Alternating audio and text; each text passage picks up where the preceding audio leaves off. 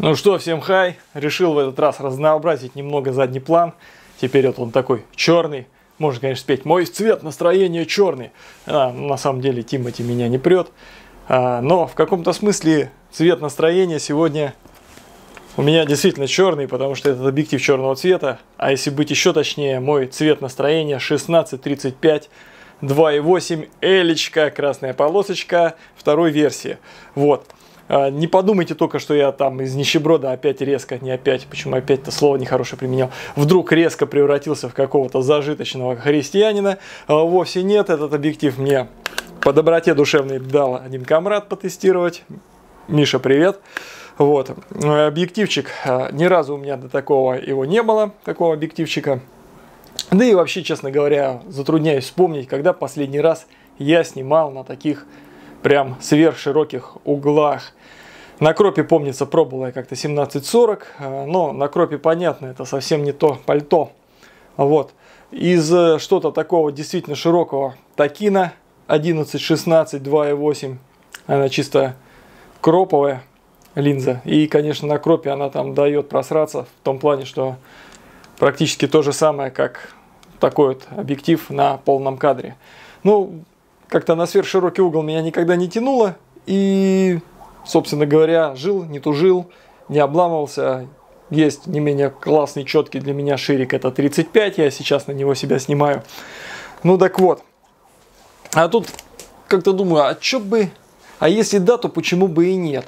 И взял, значит, у Мишани этот объективчик, одел я его и отвал башки просто. Короче, как вы понимаете, я испытал ди- дикий такой детский восторг от этого дела. И думаю такой, так, так, так, так, надо что-то поснимать, надо что-то поснимать. А что поснимать-то, как бы, я даже и не знаю, что на такие широкие углы снимать-то можно, по большому-то счету. Пейзажи, ну, как-то что-то, ну, пока что, видимо, возраст не тот, до пейзажей я не дорос или просто мировоззрение не то. Как-то хочется что-то такое, ну, Природа, она, конечно, живая, архитектура тоже по-своему это красиво, всякие там такие вещи. Но хочется что-то такого, ну, не знаю. И я решил, думаю, не поснимать ли мне там вот всякую дичь, типа там, в том числе с людьми. Одел, с другой стороны, не хотелось, вот еще тут Медведева наслушался, там какой-то семинар в записи там про рабство фотошопа и все такое. Думаю, все, хватит, доколе можно это терпеть, все, буду прям снимать в камерный JPEG. А чтобы с цветом не морочиться, ну понятно, там не подбирать баланс белого, там оттенок, вот этот сдвиг, там все эти моменты. Думаю, сейчас я в ЧБ себе профиль создам, камерный, и пойду прям в JPEG, в ЧБ буду шарашить, думаю, ЧБ это не тленочка, думаю, всегда зайдет, особенно для, для всякого стрит-очка. Одеваю этот объектив, недолго думая, дую в парк Галицкого вечерочком. И пошел там, значит, снимать. Ребята, это, это космос. Космос в том плане, что, во-первых, э, я снимал, естественно, не по видоискателю, то есть вот так вот в камеру не глядел. Я глядел в дисплей, то есть от пуза где-то снимал, с более низких точек съемки делал. И это прикол в чем? Ты видишь больше, ты видишь пространство вокруг себя постоянно, что происходит, и всегда знаешь, куда чего повернуть, чтобы сделать этот самый кадр. Это прикольно. Кстати, я, наверное, скоро в плане стрит и уличных съемок, наверное, вообще нафиг. Ну, именно случайных, таких каких-то более репортажных, моментных. Наверное, я вообще от видоискателя отойду. Видоискатель хорош, когда ты снимаешь какой-то постановочный сюжет или там что-то то, что спрогнозировано, продумано, ну, это мое мнение, я то есть не навязываю никому. И вот, значит, одел я эту фиговину, и бомба в том, что с этой фигней можно и нужно снимать близко. То есть Поскольку она охрененно широкая по углу, ты можешь стоять рядом с человеком, по ощущениям, как будто бы от человека объектив отвернул, как будто он не попадает, а на самом деле человек попадает. Понятно, что он попадает на край кадра, что там край кадра его тянет там безобразным образом, что там геометрия, конечно, на краях там такая, все растягивает, капитально просто тянет. Чем дальше от центра, тем сильнее начинается этот эффект растягивания. Но это круто, это круто, это дает какую-то динамику, сцену, вот эта вот гиперусиленная перспектива. Практически вот я по парку ходил, в основном я снимал на 16, иногда на 35 переключался. Ну, там, ну, в диапазоне зума от 16 до 35 крутил. И, ну, основное, конечно, мне хотелось именно 16 миллиметров, потому что то, что я вижу глазами, и то, что я вижу через камеру, это две абсолютно разные вещи. То есть какие-то обыденные, простые какие-то линии, предметы, то есть предметное пространство искажается и перестает быть обыденным, привычным, серым, унылым, то есть ты как будто попадаешь в волшебный мир при помощи ширика. То есть, видимо, вот насколько я изголодался по необычной какой-то картинке. Естественно, если я начну каждый день шарашить, ходить на ширик, мне это приест, и со временем я уже буду это все такое смотреть, листать такой, так, так, было, знаю, ага, видел, там, ничего удивительного, все как, все как всегда. Но сейчас, поскольку я до этого долгое время снимал в диапазоне 35-85, то есть у меня было два объектива 35 и 85. И по сути дела я до сих пор продолжаю снимать 35, ну, на полном кадре, 35, 85, даже 135, то есть я даже еще более угол сужаю, то есть еще более в теледиапазон ухожу на портретах. То, естественно, для меня а, было необычно резко так перехлопнуться на, такой, настолько, на такой широкий угол, что у меня просто какой-то детский, детский восторг, знаете, как с игрушкой, с новой. И вот, соответственно, я ломанулся, там пытался, конечно, снимать людей, немного еще стеснялся, там, ну, совершенно незнакомых, но я понял, что на самом деле самые клевые, наверное, фотографии стритовые должны именно получаться в диапазоне от 16 до 35. Никакие нахрен 50 миллиметров. Ну, хотя 50 миллиметров это классика, почему бы и нет. Но никакие, никакой не теледиапазон, никакие не 85, не 135 и не 200. Да, с ними психологически комфортно, люди тебя не видят, не ощущают то, что ты снимаешь, но и пространства вокруг нет. Нет э, ощущения погружения, понимаете, погружения события. А с 16 миллиметров вот ты находишься впритык от человека, буквально чуть ли ему не дышишь в лицо. И это круто, и причем и человек присутствует в кадре, и пространство присутствует в кадре. И еще, ребят, фишка, ну, всем известен такой фактор, что э, с, как бы эмпирически длина выдержки, наиболее такая длинная выдержка, которую можно удержать с рук без шевеленки, э, плюс-минус равна фокусному расстоянию в эквиваленте 35 миллиметровом, на который ты снимаешь. Условно говоря, если я снимаю на 35 миллиметров, то с рук можно удержать там одну тридцатую секунды, да, ну там условно говоря, как-то так, да. Может быть там, нет, одну тридцатую пускай, да. Если я снимаю на 85 миллиметров, то с рук можно удержать там одну восьмидесятую секунды, там, ну или одну сотую уж точно. Если на 135, соответственно, там одну 125 секунды. То, что касается 16 миллиметров, то я, в принципе, удерживал одну десятую секунды, и это было круто. То есть, ребят, одна десятая секунды – это та выдержка, которую я, в принципе, удерживаю с рук, ну, так сказать, удерживаю, ну, не для коммерческого использования, а иногда, а один раз даже на одной восьмой получилось вообще просто, там шерсть, все, там все видно было.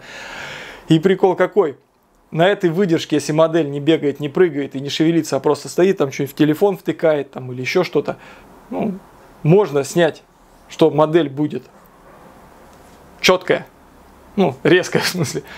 А весь движняк, если сзади ходят люди, текет вода, там проезжают автомобили, все это, естественно, уже размазывается. Строблю нет. А, все это размазывается, и в кадре появляется дичайшая динамика. То есть это прикольно. Во-первых, сам широкий угол придает больше пространства, плюс размазанность вот этого вот, да, или даже если модель что-то рукой там шевелит, немного двигается, то есть вот эта вся ее смазанность, это тоже очень классно. Это раз.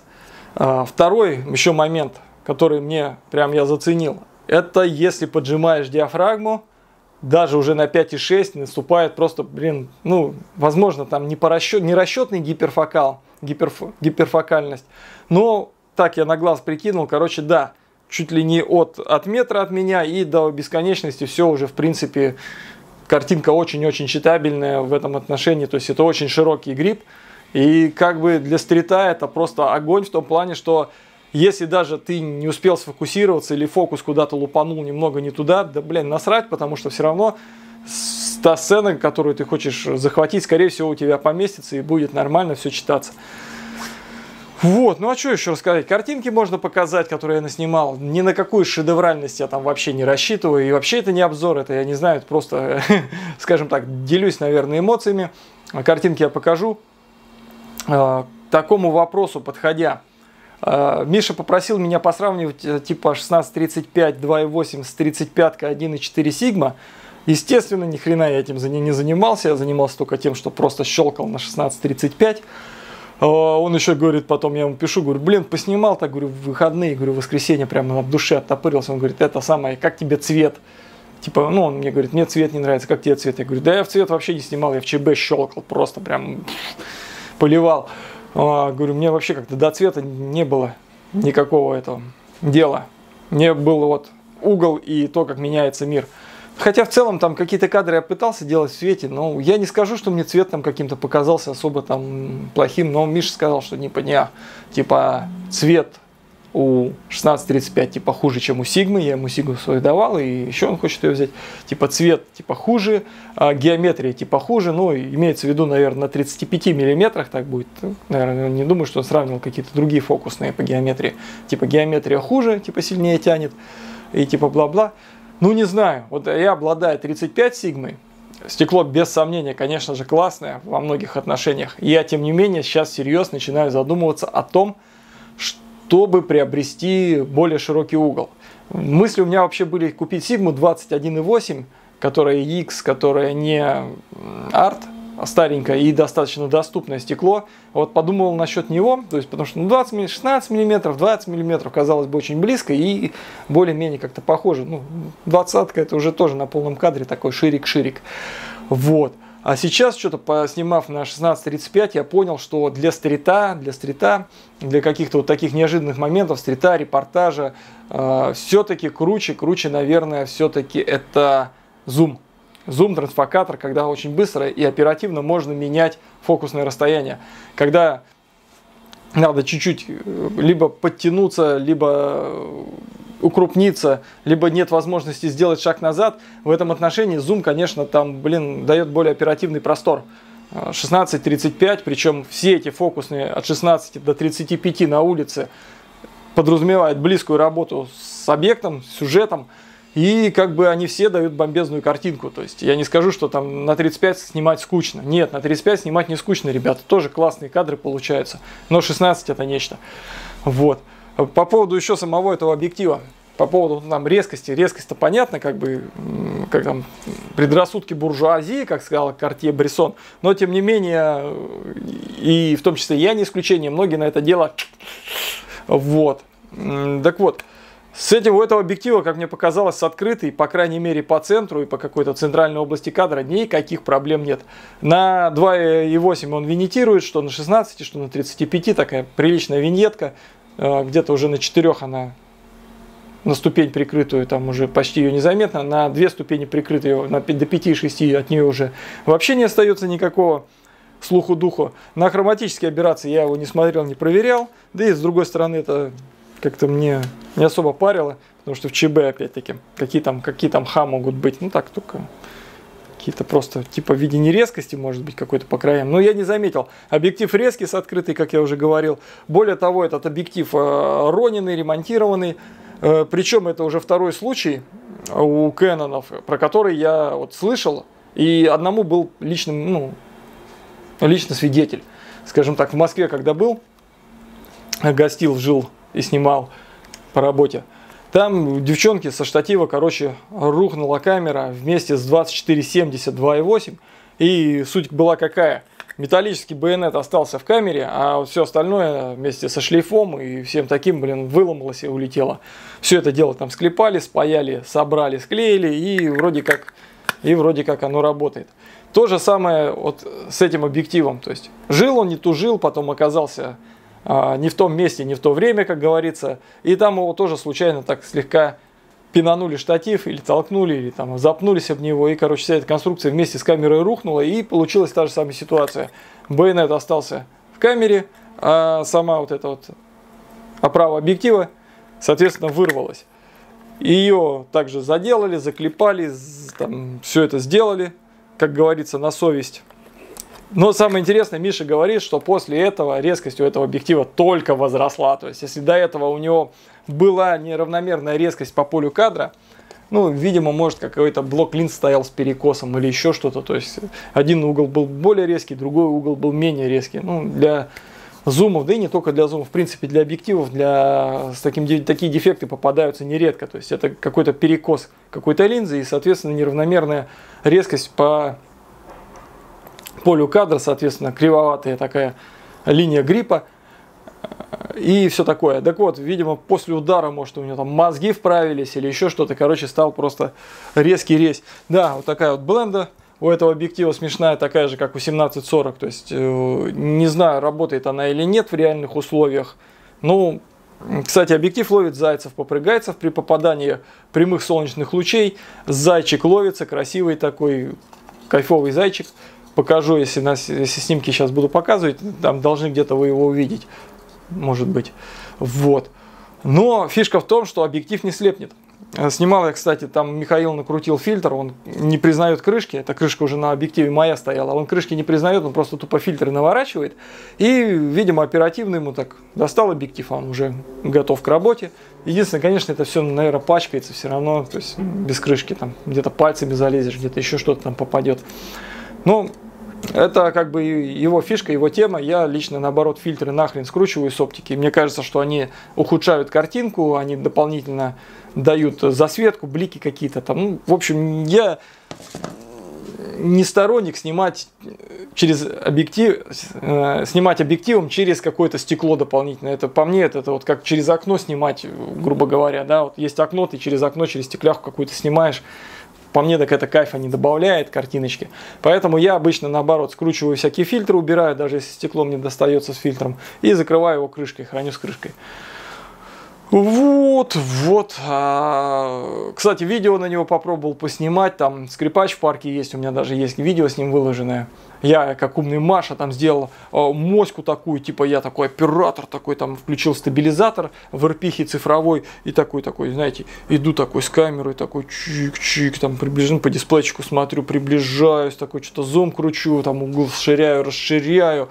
Там, когда я снимал, мне почему-то казалось, что мои движения такие крайне плавные, крайне аккуратные. Я весь такой прям тягучий, как вода. Такой думаю, блядь, видео что ли заняться? Блядь, получается же.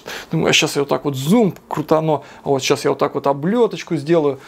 Домой пришел, включил, мама дорогая, там просто Копенгаген, там все вот так вот трясется, несмотря на то, что стабилизатор, иду вот такой, как это, как медведь, у меня камера вот так вот. Короче, жесть, загнал это все дело в премьер, включил там этот варп, стабилизацию, это, ну, просчитал он у меня это. И там просто фишка, там спецэффектов не надо. То есть, да, теперь картинка плавно двигается, и задний план он весь вот так вот, как кисель его вводит. Вот. А, что-то я уже с темы сошел. Ну, короче, для видео объектив, кстати, тоже годный. Он, конечно, не STM, он э, немного шумит. Слышно, как шумит его моторчик, чуть-чуть там, УЗМовский, там, ну, дергает фокус, бывает иногда там чуть-чуть, особенно если я вот так вот делал камеру на себя, от себя, там вот так вот, всякие такие вещи быстрые, тогда да, там он ну, был такие тык-тык-тык-тык такой звук.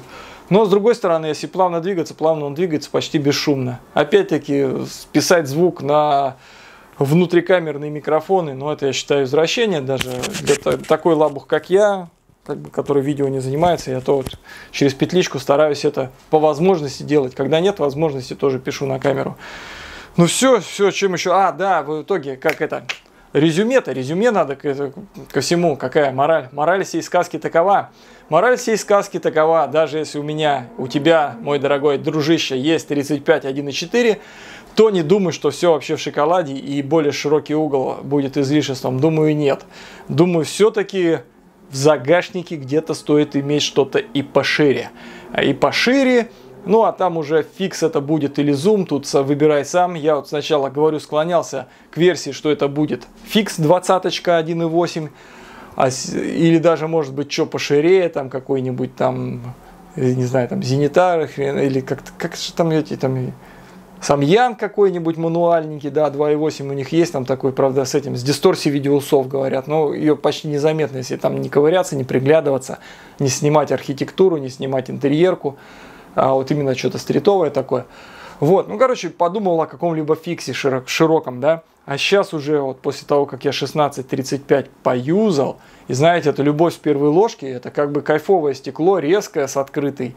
Э, даже в своем роде есть у него баке, если совсем уж близко снимать кого-то, да, то и задний план относительно далеко, то есть бакешечка, все как надо, размывает.